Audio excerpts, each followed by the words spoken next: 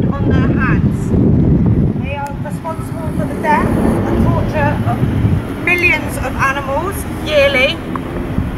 They have also got human blood on their hands with regards to the COVID-19 outbreaks within these slaughterhouses that are not being taken seriously.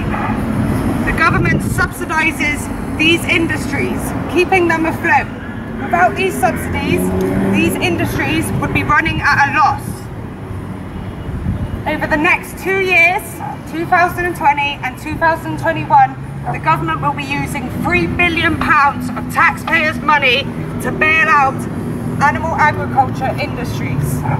They have already given £10 million to the fishing industry to bail them out after the COVID-19. They have given £500,000 to the milk industry, all towards an advertisement campaign to boost their sales. This is all taxpayer money as taxpayers, we do not want to be contributing to these industries that cause so much suffering. We need a drastic change from the government with subsidies going towards a plant-based food system. Animal agriculture is destroying our environment.